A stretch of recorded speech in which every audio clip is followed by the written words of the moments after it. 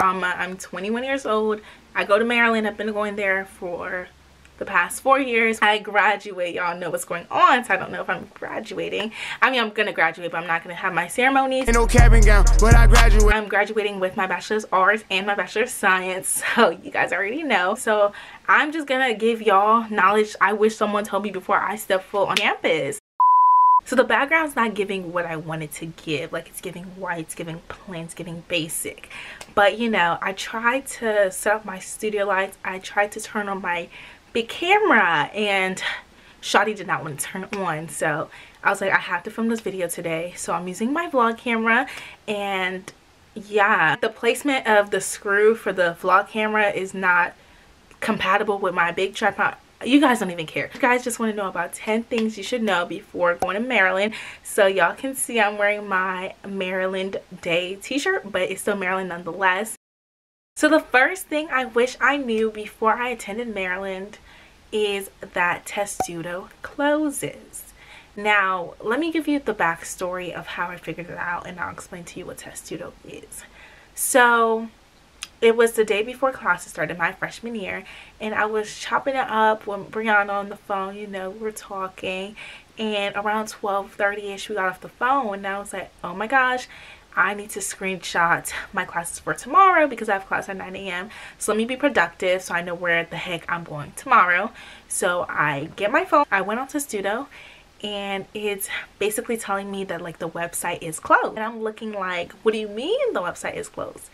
Basically Testudo closes. It has like certain operating hours. So Monday through Saturday, Testudo's open from 7.30 a.m. to 11 p.m. And on Sundays, it's open from 5.30 p.m. to 11 p.m.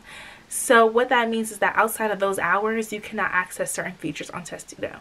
Some things are 24-7, like you can always see your grades, you can always use the um, GPA calculator, you can always use the deactivation swipe ID thing, but some other things like degree audit is not available unless it's in within those certain hours.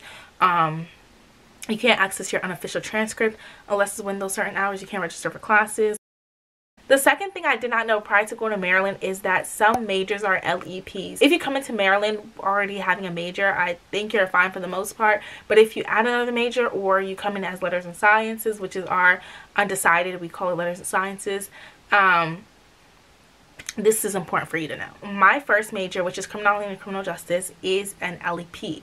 And basically what that means is that I have to take certain classes and receive a certain grade before I can attend the workshop and, you know, declare the major or whatever.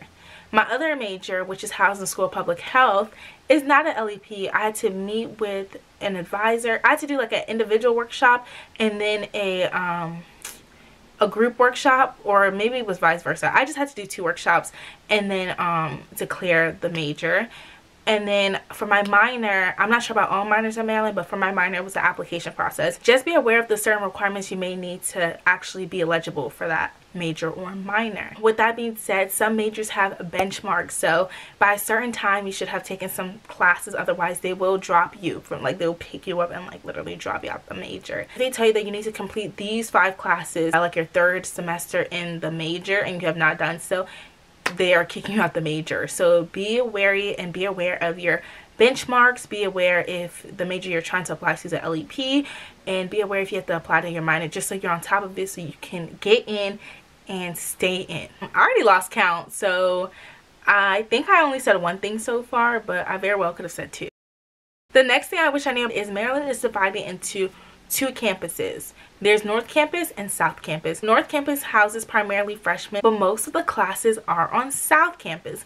The only exception with that is um, the School of Public Health. The School of Public Health is located on North Campus. North Campus is just farther out from a lot of the classes, but this actually brings me to my next tip or next thing I wish I knew there's a bus app and I did not know about this until Paulina told me freshman year like Paulina we used to make fun of Paulina because she literally had the routes like downloaded in her brain. The Next Bus app basically tells you what buses are coming, when they're arriving, as well as the stops. So if you ever want to catch a bus and you want to know like when the bus is coming, the app is very handy for that. I'll probably put the little icon here.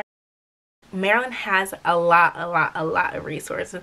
I am guilty of not taking full advantage of all the resources offered to me, but I feel like I did take advantage of a good amount of resources.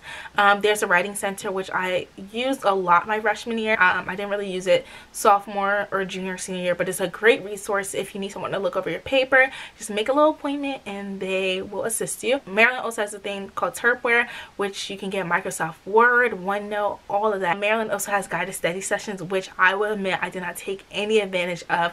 I definitely should have for my bio class, but I just didn't. Um, they have GSS sessions for bio. I know they have some for econ. They have some for chem. So if you're struggling in those classes, and you just need some extra help, definitely attend GSS. There's also a math success program which just helps you with math. I cannot list all the resources off the top of my head, but there's just so many resources that you guys should definitely take advantage of. Like bruh like the career center the health center like there's just so many resources bruh. Take advantage. Y'all might think this is a joke but i'm actually very serious. I'm actually including this in the video. Bring rain boots okay? Because when it rains on campus it pours like literally umd is like hilly like all types of things going on and you just want to be prepared.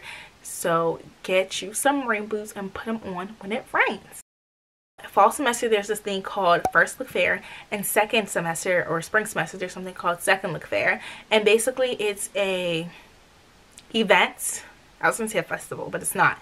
It's an event where different organizations and different clubs come out. If you're worried about getting involved and how you don't know how you're gonna get involved, definitely attend First Look Fair in the fall semester. And if you miss it, you can go to Second Look Fair in the spring there's this thing called UMD alerts.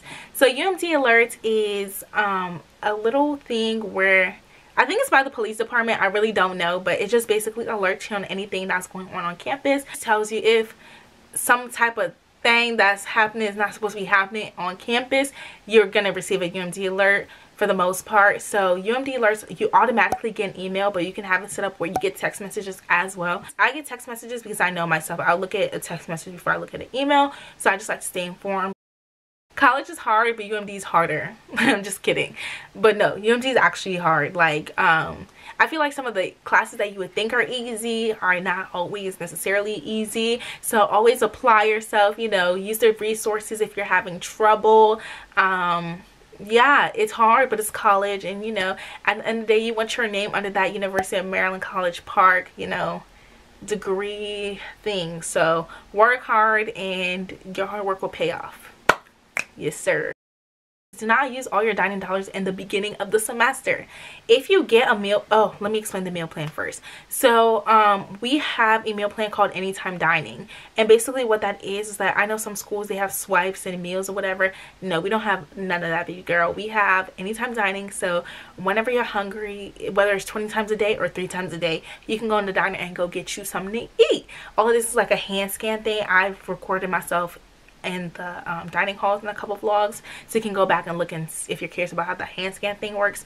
But if you have the dining plan where you get dining dollars um, please save them because you know towards the end of semester you might not be feeling the dining food. So you might want to use your dining dollars at Chick-fil-A or Qdoba or like at the union shop or the common shop. So save like think wisely about the way you spend your dining dollars. Like i know people who blown through 200 worth of dining dollars the first three weeks of the semester. I'm like, baby girl, like what's going on? Like, come on. Every first Wednesday of the month, there's an alarm gonna go off. The alarm goes off to basically just test like the campus-wide alert system. Like the first time that goes off, you will see people go like this. It's like super loud, but you'll see people go like this. Those are all the 10 things I wish I knew before I attended University of Maryland. I I think it was 10. I hope so. Like i said i lost count. If you guys have any other university of maryland related content that you guys want to see let me know because like i said i've been there for four years. My time there is almost up. It's very bittersweet like these four years went by super fast. But if you guys want to know anything or everything about the university of maryland i'm your girl. So yeah i'll see you guys in next week friday's video